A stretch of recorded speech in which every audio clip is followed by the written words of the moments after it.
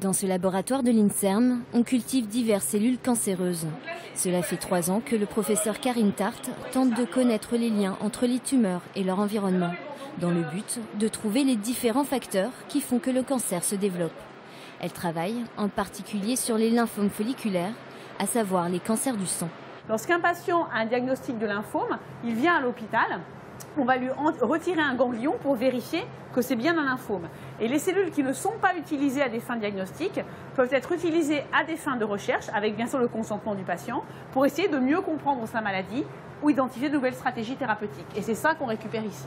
Dernièrement, ces recherches ont abouti grâce à l'immunothérapie. En effet, les chercheurs utilisent les cellules immunitaires des patients et les véhiculent dans les tumeurs avec ces travaux, on ajoute une étape supplémentaire. Ces cellules qu'on adresse à la tumeur, on les rend capables de produire une molécule antitumorale. C'est le concept de micropharmacie. On amène dans la tumeur une cellule immunitaire tueuse capable en plus de libérer une molécule qui cible la tumeur et son environnement. Ça, c'est complètement nouveau. Et cette molécule, c'est le gène HVM présent dans les tumeurs. Il peut muter jusqu'à disparaître.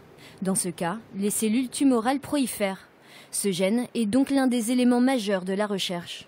On a regardé l'effet de cette réintroduction de cette molécule inhibitrice sur le développement tumoral. Et on a vu que quand on réapportait cette molécule HVM via ces cellules immunitaires, en fait, on réduisait la tumeur.